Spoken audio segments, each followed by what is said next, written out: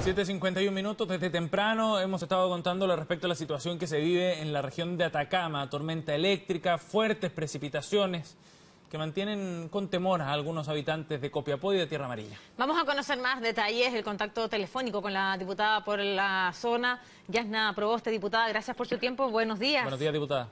Hola, muy buenos días acá en Copiapó. Nosotros, como es habitual, después de nuestra jornada laboral del Parlamento, nos trasladamos, vivimos acá en la región, así que ayer eh, llegamos a Copiapó y nos quedamos acá y hoy ya despertamos muy temprano, cerca de las cinco y media, con fuertes truenos y relámpagos y una lluvia muy intensa. Aún está latente en, nuestro, en todos nuestros vecinos lo ocurrido el año 2015, así es que, por cierto, hay mucha preocupación. Yo voy camino al COE, en, un trayecto que uno demora desde yo, donde yo estoy hasta el COE habitualmente de 10 minutos y ya llevamos eh, más de 20 minutos porque, bueno, las calles ya están con, con mucha agua y mucho material que ha estado eh, también circulando. Eh, a esta hora no está lloviendo, pero llovió intensamente entre las 6 de la mañana, ¿sí? Sí, y hasta ahora, ¿usted tiene conocimiento de daños materiales producto de las lluvias?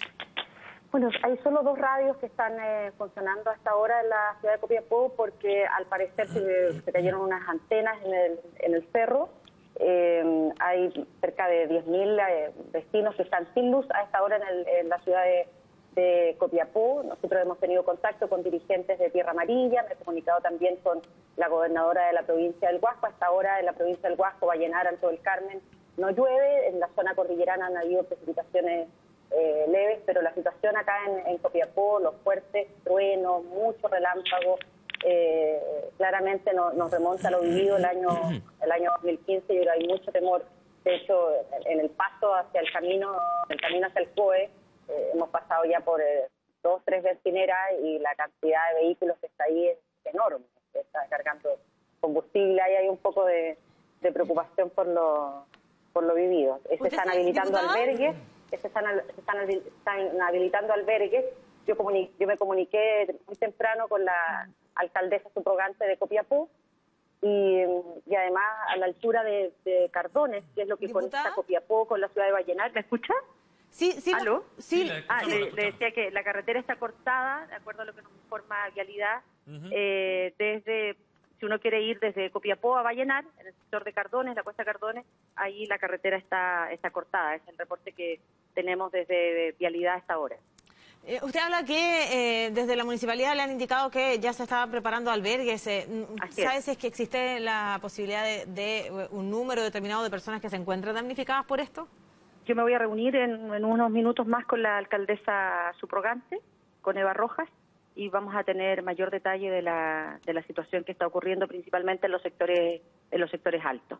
Estamos próximos a eh, comenzar una jornada laboral. Sabemos que las clases han sido suspendidas, al menos para Copiapó y Tierra Amarilla, desde prebásica, desde prebásica hasta la enseñanza media. Pero desde su punto de vista, ¿cuál es la recomendación que usted, que está ahí, que puede ver el panorama, eh, que le puede entregar a los empleadores? Si es que en la medida de lo posible, mejor hoy día no ir a trabajar o la situación ya se va a empezar a normalizar. Bueno, uno espera flexibilidad. Yo le digo, nosotros en este trayecto que habitualmente hacemos en 10 minutos, ya llevamos una cantidad importante de, tiempo, la circulación está lenta, hay bastante agua en, las calles y, lo que nosotros esperamos es que esto comience a, normalizarse, pero tendremos que ver cómo está el suministro de servicios básicos, a qué hora va, a qué hora se va a reponer el servicio en eh, las más de 10.000 viviendas que se encuentran a esta hora sin energía eléctrica. Bien, diputada, eh, le agradecemos el contacto, la información que usted nos ha podido entregar. Esperamos poder estar en contacto luego más tarde también para, para tener más detalles de lo que de lo que ha ocurrido. Diputada, solo, solo una pregunta desde el punto de vista de la, de la ciudadanía y la gente que vive allá en, Atacama. El recuerdo todavía está fresco de lo que ocurrió en 2015, ¿cierto? 2015 fue Así mire, muy, muy fresco. De hecho, yo puedo relatar mi experiencia personal. Yo el año 2015 venía desde Chañaral a Copiapó, también me encontró en esa oportunidad acá en Copiapó, en la ciudad de, de, Copiapó, y, y, claramente esto, eh, esta tormenta eléctrica eh, ha sido mucho más fuerte de la que nosotros vivimos acá el año el año 2015. Esperamos que esta situación no, no pase mayores. Eh, a esta hora la temperatura además acá en, en Copiapó no es fría. ¿eh? de hecho, o sea, si uno lo pudiera graficar, yo estoy con polera y con una chaqueta sin manga. Bien no, no hay no es una situación de frío, lo cual también es una es motivo de preocupación de lo que esté pasando en los sectores altos de la cordillera. Y hasta los 28 grados, de acuerdo a lo que dice Meteorología, van a subir los termómetros, eh, al menos en Copiapó. Estoy viendo la información exacta para hoy. Diputada, muchas gracias por el contacto y a ver si es que en el momento en el cual ya se reúna con el Comité Operativo de Emergencia podamos tener nuevos antecedentes, si es que efectivamente hay o no personas que hayan resultado damnificadas y cuáles son las consecuencias de esta tormenta eléctrica y lluvia que se vivió en la zona. Gracias por el contacto. muchísimas gracias a ustedes por la preocupación. Hasta luego.